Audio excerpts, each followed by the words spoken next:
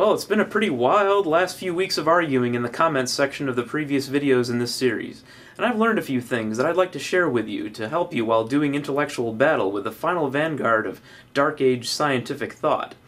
First off, and this should not be a big surprise to anyone, creationists can be a little bit touchy about their intellectual prowess.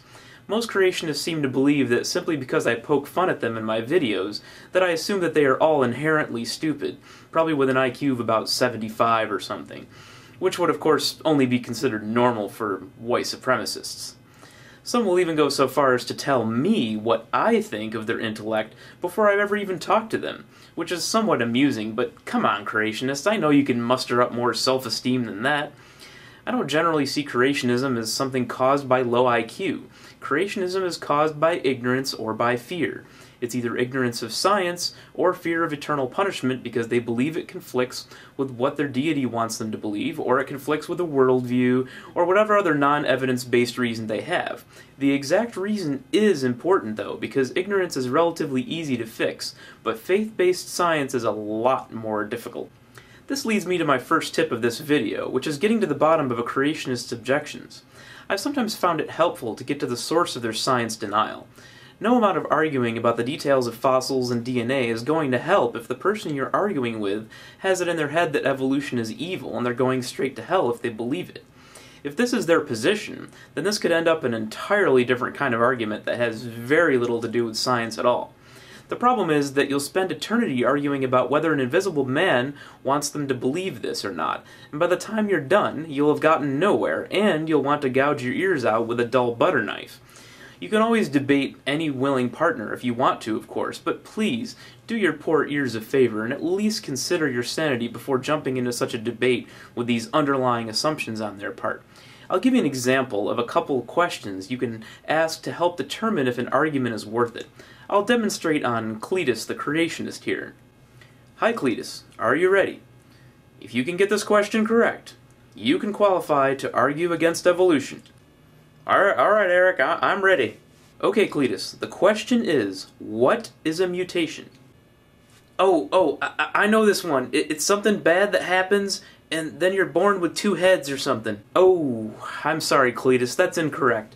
Mutations are random changes in the genetic code, and so that can be helpful, harmful, or neither.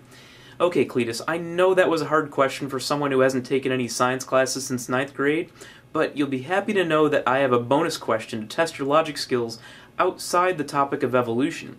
If you get this multiple choice question right, you can still qualify to debate against evolution. Oh, okay, I- I'm ready. Give it to me, man.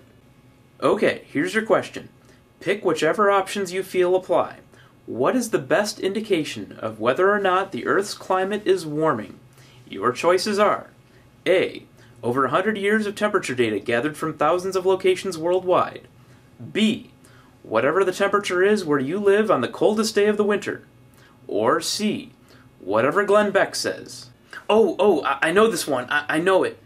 Okay, great. So what is your answer, Cletus? Both B and C. That's right. Oh, I'm sorry, Cletus. The answer was A.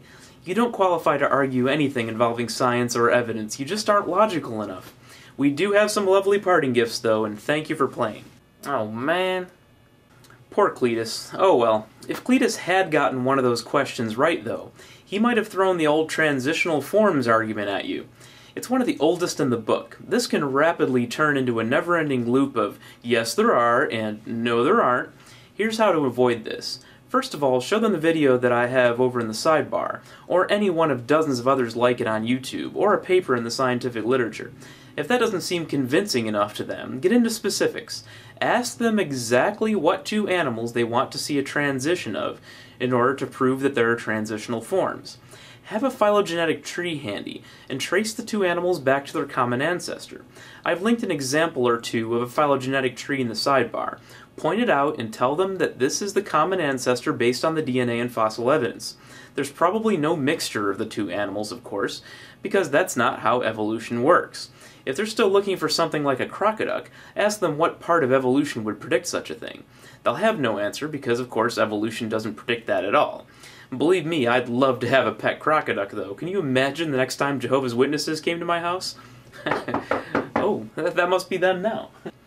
Finally, I just wanted to share a humorous creationist question that I got on a video recently. A creationist asked me for my thoughts on primordial soup. Well, that deserves an answer, though it's very telling when someone couches most aspects of science in terms of opinion, isn't it? Hmm. The answer is, hmm.